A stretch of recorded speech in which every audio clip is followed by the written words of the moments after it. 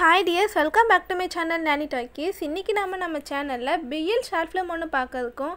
இது வந்து jump the boy அப்படின்ற டைட்டில்லேருந்து love to call my brother to serve me அப்படின்ற ஒரு எபிசோடு இதை வந்துட்டு நம்ம பார்க்கலாம். ஷார்ட்டான டைம்லேயே நிறைய க்யூட்டான மூமெண்ட்ஸ்லாம் வந்து இவங்க காமிச்சிருப்பாங்க. இந்த படத்தோட ஸ்டார்டிங் சீனில் இங்கே இவனை காமிக்கிறாங்கல்ல இவனோட நேம் டோடோ. அதுக்கப்புறம் இங்கே ஆப்போசிட்டில் இன்னொருத்தன் போர்டு தூக்கிட்டு வந்தான்ல அவனோட நேம் ஜெட்டு இவனுங்க ரெண்டு பேர் தான் நம்ம கதையோட first lead and second lead ரெண்டு பேரும் போர்டு தூக்கிட்டு வந்து ஒருத்தனுக்கு ஒருத்தர் இடிச்சுக்கிறானுங்க.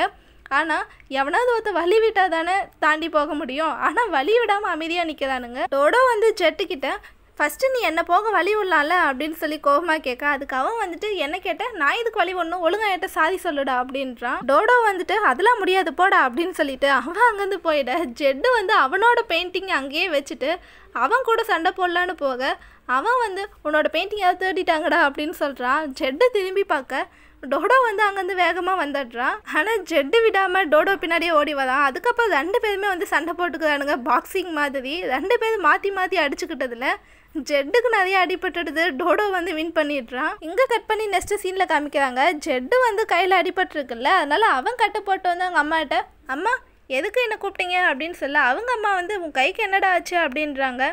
அதுக்கு அவன் வந்து ஒரு இரிட்டேட்டிங்கான ஒரு இடியட்டை பார்த்தேன். அவன் தான் அப்படி பண்ணிட்டான். அவங்க எடுக்கதான் பைத்திய கதை. நீங்கள் சொல்லுங்கம்மா என்னாச்சு? அப்படின்னு சொல்ல நான் உங்ககிட்ட சொல்ல ஒரு குட் நியூஸ் வச்சுருக்கனே. நான் உங்ககிட்ட ஒருத்தங்களை இன்ட்ரடியூஸ் பண்ணணும் அப்படின்றாங்க. அதுக்கு ஜெட் வந்துட்டு யார் அவங்க? எங்கே பார்த்தீங்க அப்படின்னு சொல்லி கேட்க அவங்க அம்மா வந்து இன்டர்நெட்டில் தான் பார்த்தேன் அப்படின்றாங்க.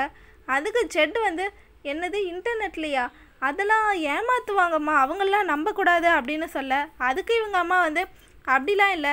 நான் நாளைக்கு உன்னை அவங்களோட இடத்த கூட்டிகிட்டு போகிறேன் நீயே அவனை பார்த்துட்டு சொல்லு அப்படின்றாங்க. ஸோ அவங்க அம்மாவுக்கு பாய் ஃப்ரெண்ட் போல் ஜெட்டு வந்து அதுக்கு என்னது? அவங்க வீட்டுக்கு போகணுமா?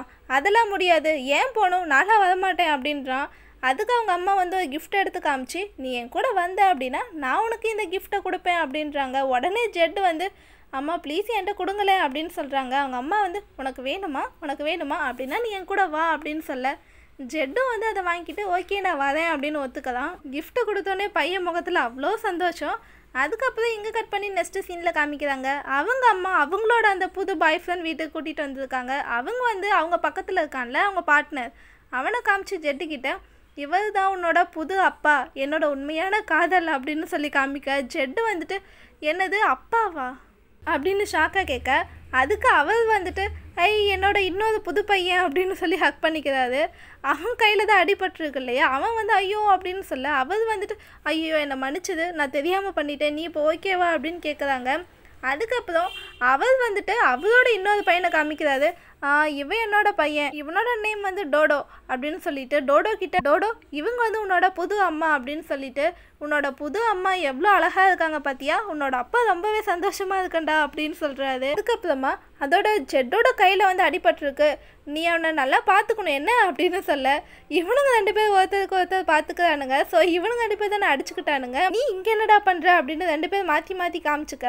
அவங்களோட அப்பா அம்மா. ஸோ அப்படின்னா அவங்க ரெண்டு பேருக்கும் முன்னாடியே தெரியுமா? ஆனால் இது எவ்வளோ நல்ல விஷயம் இல்லை அப்படின்னு சொல்லி அவங்க சந்தோஷப்படுறாங்க. ஆனால் இவனுங்க ரெண்டு பேர் கடுப்பாக பார்த்துட்டு இருக்கானுங்க. ஆனால் அப்பா அம்மா ரெண்டு பேர் சந்தோஷமா சரி ஓகே அப்படின்னா நம்ம ஜாலியாக ஹனிமூன் போகலாம் எந்த பிரச்சனையும் இல்லை அப்படின்னு சொல்லிட்டு சரி நீங்கள் ரெண்டு பேரும் உங்களை நல்லா பார்த்துக்கோங்க என்ன நாங்கள் போயிட்டு வரோம் அப்படின்னு சொல்லிட்டு அவங்க அங்கேருந்து கிளம்பிடுறாங்க. அடுத்து நெக்ஸ்ட் சீனில் நெக்ஸ்ட் டே காமிக்கிறாங்க. ஜெட்டு வந்து அமைதியாக பெட்டில் உட்காந்துட்டு அவன் வந்து மொபைல் பார்த்துட்டு இருக்க. அங்கே டோடோ வந்திருக்கான். அவன் வந்து நூடுல்ஸ் கொண்டு வந்துட்டு சாப்பிடலான்னு போக அப்போ ஜெட்டு வந்துட்டு ஹே ஒரு நிமிஷம். எனக்கும் ரொம்ப பசிக்குது. எனக்கும் கொஞ்சம் கூட அப்படின்னு சொல்லி கேட்க டோடோ வந்துட்டு வேணா உனக்கு நீயே போய் சமைச்சு சாப்பிட்டுக்கோ போ அப்படின்றான். அதுக்கு ஜெட் வந்து அவனோட கையை காமிச்சிட்டு என் கையை பார்த்தியா? உன்னோட அப்பா உன்கிட்டே என்னை நல்லா பார்த்துக்க சொல்லி சொன்னாங்கல்ல அப்படின்னு கேட்குறான் அதுக்கு டோடோ வந்து சரி ஓகே. அப்போ எல்லாம் நீயே சாப்பிட்டுக்கோ அப்படின்னு சொல்ல அதுக்கு ஜெட் வந்து எனக்கு ஊட்டி விட அப்படின்னு சொல்கிறான் அதுக்கு டோடோ வந்துட்டு எதுக்கு ஊட்டி விடணும்? உன் கை என்ன அந்தளவுக்கு அடிப்பட்டதுக்கு போடா அப்படின்னு சொல்லிட. ஜெட்டு வந்து உடனே அவங்க அம்மாவுக்கு ஃபோன் பண்ணி ஹலோ அம்மா நாங்கள் வந்து இங்கே லஞ்சு சாப்பிட்லான்னு வந்தோம். ஆனால் டோடோ வந்துட்டு அப்படின்னு சொல்லி இவனை பற்றி போட்டு கொடுக்கலான்னு வர. டோடோ உடனே அமைதியாக வந்து ஜெட்டோட லிப்ஸ்லேயே கிஸ் பண்ணுறான் வாயை அடைக்கிறதுனா இதுதான் போல். ஜெட்டை அப்படியே அமைதியாக பார்க்க. அவங்க அம்மா வந்து ஹலோ ஹலோ அப்படின்ட்டு இருக்காங்க. ஆனால் அதுக்கப்புறம் ஃபோன் எவனாவது பேசுவானா உடனே டோடோ வந்துட்டு சரி நான் அவனை கூட்டி விடுறேன் அப்படின்னு சொல்லி அவனே வந்து ஜெட்டு கூட்டி விடுறான் அதுக்கப்புறம் நெக்ஸ்ட் சீனில் டோடோ வந்துட்டு ஒரு பிஎல் அனிமேஷன் ஸ்டோரி புக் மாதிரி இருக்குது அதை வந்து அவன் என்ஜாய் பண்ணி படிச்சுட்டு இருக்கான்.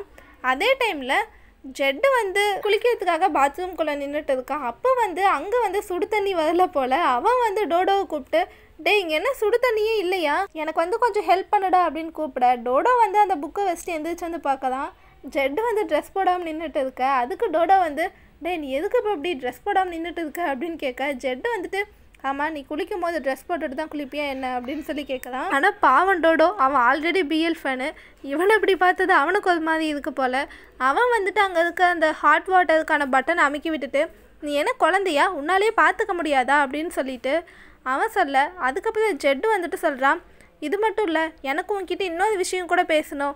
நீ எதுக்குடா என்னை கிஸ் பண்ண? என்ன காரணத்துக்காக கிஸ் பண்ண அப்படின்னு சொல்ல. அதுக்கு டோடோ வந்துட்டு சொல்கிறா நான் ஏன் உன்னை கிஸ் பண்ணேன்? அப்படின்னா நீ உன் அம்மாட்ட என்னை பற்றி போட்டு கொடுக்கூடாதுல்ல அதுக்காக தான் கிஸ் பண்ணேன் அப்படின்றான் அதுக்கு ஜெட் வந்து என்னது? அதுக்காகவா கிஸ் பண்ணேன் அப்படின்னு சொல்லி கேட்க டோடோ வந்து ஆமாம் அதுக்காக தான் கிஸ் பண்ணேன் அப்படின்னு அவனை ஒரு மாதிரி பார்த்துக்கிட்டே சொல்கிறான் அடுத்து ஜெட் வந்து ஆனால் அது என்னோடய ஃபஸ்ட்டு கிஸ் தெரியுமா? டோடோ வந்துட்டு சொல்கிறான் அது எனக்கும் தான் ஃபஸ்ட்டு கிஸ் அப்படின்னு.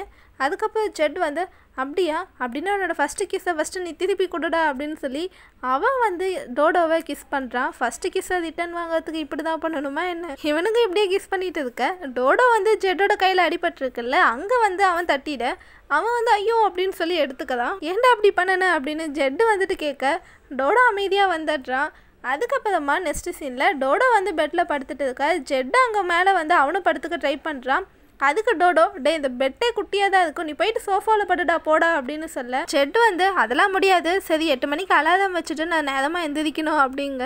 டோடோ வந்துட்டு அமைதியாக பார்த்துட்டு அவன் வந்து ஜெட்டை உதச்சி கீழே தள்ளி விட்டுறான். ஜெட் எந்திரிச்சு இப்போ எதுக்கூட என்னை தள்ளி விட்ட? அப்படின்னு சொல்லி கேட்க டோடோ வந்துட்டு சொல்கிறான் ஆ நான் ஒன்று தள்ளி வில்லையே அப்படின்னு அவன் கிண்டலாக சொல்ல அதுக்கு ஜெட் உடனே அம்மாவுக்கு ஃபோன் பண்ணவா? அப்படின்னு ஆக்ஷன் காமிக்க உடனே டோடோ நான் வேணா உன்னை தூக்கி பெட்டிலேயே போட்டுவிட்டுமாடா அப்படின்னு கேட்கலாம். அதுக்கு ஜெட் வந்துட்டு சிரிக்கிறான் அப்படியே இங்கே கட் பண்ணி நெக்ஸ்ட் சீனில் காமிக்கிறாங்க. டோடோ வந்து லஞ்சுக்காக வெயிட் பண்ணிட்டு இருக்க. அங்கே ஜெட் வந்து ஒரு சூப் கொண்டு வந்து வச்சுட்டு இது ஸ்பெஷலாக பண்ணனே அப்படின்னு சொல்ல அவன் வந்துட்டு என்ன ஸ்பெஷல் அப்படின்னு கேட்கலாம். அதுக்கு ஜெட் வந்து என்னோட காயம் சரியாயிடுச்சுல்ல அதுக்காக தான் அப்படின்னு சொல்ல இவன் வந்து இப்போ எடுத்து போட்டு சாப்பிட்றான் டோடோ. டோடோ வந்து அவனுக்கு பெரிய பீஸாக எடுத்து போட்டு சாப்பிட ஜெட் வந்து எனக்கும் பெரிய பீஸாக வேணும் அப்படின்றான். இவனுங்களை பார்க்கவே ஒரு மாதிரி க்யூட்டாக இருந்தது. அதுக்கப்புறம் ரெண்டு பேருமே சாப்பிட ஸ்டார்ட் பண்ண. டோடோ வந்துட்டு அம்மா இது என்னடா இவ்வளோ ஆல்கஹால் ஸ்மெல்லாக இருக்குது அப்படின்னு சொல்லி கேட்க ஜெட் வந்துட்டு சொல்கிறான் ஆமாம் இது ரொம்பவே ஸ்ட்ராங்காக இருக்குல்ல. ஆனால் இந்த ரெசிபி என்னோடய அம்மா தான் சொல்லி கொடுத்தாங்க அப்படின்னு சொல்கிறான் அதுக்கு டோடோ வந்துட்டு அப்படின்னா உன் அம்மா நல்லா ட்ரிங்க்ஸ் பண்ணுவாங்களோ? அப்படின்னு கேட்க அதுக்கு ஜெட் வந்துட்டு சரி விடு நான் போய் இன்னொரு டைம் குக் பண்ணி கொண்டு வரேன் அப்படின்னு சொல்லி எடுக்க போக டோடோ வந்துட்டு ஏன் இல்லை இல்லை வேணாம் இதுக்கட்டும் பரவாயில்ல எனக்கு ஆல்ரெடி ரொம்ப பசிக்குதுடா லேட் பண்ண வேணாம் அப்படின்னு சொல்லி அவங்க வந்து அதையே சாப்பிட ஸ்டார்ட் பண்ணுறாங்க ஜெட்டு சாப்பிட்டுட்டு இருக்க டோடோ அதை பார்த்துட்டு எனக்கும் அது வேணும் அப்படின்னு சொல்கிறான் அதுக்கு ஒன்றே ஜெட்டு அவன் வாயில் அந்த பீஸ் எடுத்து வச்சுட்டு சரி வந்து எடுத்துக்கோவா அப்படின்னு சொல்ல. அதுக்கு டோடோ ஒன்றும் தேவையில்லை நான் பவுல்லையே எடுத்துப்பேன் அப்படின்னு சொல்லி அவன் அங்கேருந்து எடுத்து போட்டு சாப்பிட்றான். அடுத்து ஜெட் வந்து டோடோ கிட்ட சரி நாம் வந்துட்டு ஒரு கேம் விளையாடலாமா? இதில் தோத்துட்டாங்க அப்படின்னா அவங்க வந்து அந்த சூப்பை குடிக்கணும் அப்படின்னு சொல்ல. அதுக்கு டோடோ வந்து என்னது அதெல்லாம் முடியாது போடா இது ரொம்பவே ஆல்கஹாலிக்காக இருக்குது இதெல்லாம் என்னால் குடிக்க முடியாது அப்படின்னு சொல்ல அடுத்து ஜெட்டு வந்துட்டு சரி அப்படின்னா யார் தோற்று போகிறாங்களோ அவங்க தான் இன்றைக்கி நைட்டு சோஃபாவில் படுக்கணும். ஓகேவா அப்படின்னு சொல்லி கேட்க டோடோ வந்துட்டு அப்படின்னா ஓகே நான் கேமுக்கு ரெடி அப்படின்னு சொல்கிறான் ரெண்டு பேரும் விளையாட ஸ்டார்ட் பண்ணுறாங்க ஃபஸ்ட்டு ரெண்டு டைமுமே வந்து டோடோ தான் வின் பண்ணுறான் ஸோ ஜெட்டு தான் வந்து அந்த ஆல்கஹால் அந்த ட்ரிங்க்ஸ் வந்து குடிக்கிறான் அதுக்கப்புறமா ஜெட்டு வின் பண்ணிட்டு டோடோ வந்துட்டு குடிக்கிறான் இவனுங்க ரெண்டு பேர் இப்படி மாற்றி மாற்றி விளையாடிட்டு இருக்கானுங்க. ஆனால் இப்படி சரக்கடிக்கிறதுக்கு ஏதாவது விளையாடுவாங்களா என்ன? இவனுங்க ரெண்டு பேர் இப்படி விளையாடினதோட விளைவா என்னாச்சு அப்படின்னா ரெண்டு பேரும் அதே பெட்டில் படுத்துட்டு இருக்காங்க. டோடோ வந்து ஜெட்டுக்கிட்ட டே தோற்று போனவங்க போய் சோஃபாவில் தானே படுக்கணும்னு சொன்ன. நீ தானே தோற்று போன போய் சோஃபாவில் படுடா அப்படின்னு சொல்ல. ஜெட்டு வந்துட்டு என் தலையெல்லாம் சுற்றுதுடா அப்படியே இந்த ரூமே சுற்றுது அப்படின்னு அவன் சொல்லிட்டு இருக்கான் அதோட இந்த ரூம் ஏன்டா இவ்வளோ சூடாக இருக்குது ஏசி தான் போடலாம்ல அப்படின்ற மாதிரி சொல்ல. அதுக்கு டோடோ வந்துட்டு இது வந்து ஆட்டம் சீசன் இப்போலாம் வந்து நம்ம ஏசி போடக்கூடாது. நம்ம கரண்ட்டை சேவ் பண்ணணும்டா அப்படின்றான். அதுக்கப்புறம் ஜெட்டு வந்துட்டு அட போடா என்னால் முடியல அப்படின்ற மாதிரி சொல்லிட்டு எனக்கு ரொம்ப வேர்க்குது எனக்கு ரொம்ப அன்கம்ஃபர்டபுளாக ஃபீல் ஆகுது அப்படின்னு அவன் வந்து புலம்பிகிட்டு இருக்கா. டோடோ வந்து சரி இது நான் அவனோட ட்ரெஸ்ஸை கழட்டி விடுறேன் அப்படின்னு அவனோட மேல் ஷர்ட்டை வந்து அவன் கழட்டதான். அதுக்கப்புறம் ஜெட் வந்து எழுந்து சரி அப்போ நான் உனக்கு கழட்டி விடுறேன் அப்படின்னு அவன் அவனோட ஷர்ட் பட்டனை கழட்டேன் அதுக்கு டோடோ வந்து டேய் எனக்கெல்லாம் ஒன்றும் வேர்க்கலடா என்னை விடு அப்படின்னு சொல்கிறான் ஆனால் இவன் விடாமல் பட்டன் வந்து கழட்டிகிட்டு இருக்கான்.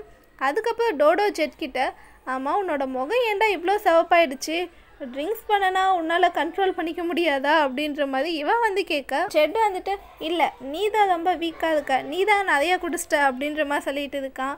அதுக்கு டோடோ முட்டாள்தனமாக பேசாதடா அப்படின்னு சொல்லி அவன் வாயில் வந்து கை வைக்க கையில் விரல் வைக்க ஜெட் வந்து அவனோட விரலை எடுத்துட்டு டோடோவை கிஸ் பண்ணுறான் ஸோ பிஎல் பார்க்கறத நமக்கே தெரியும் நெக்ஸ்டிங் என்ன நடந்திருக்கும் அப்படின்னு. பட் இதோட இவங்க அந்த ஷார்ட் ஃபிலிமை முடிச்சிட்டாங்க. நெக்ஸ்ட் வீடியோவில் பார்க்கலாம் டிஎஸ்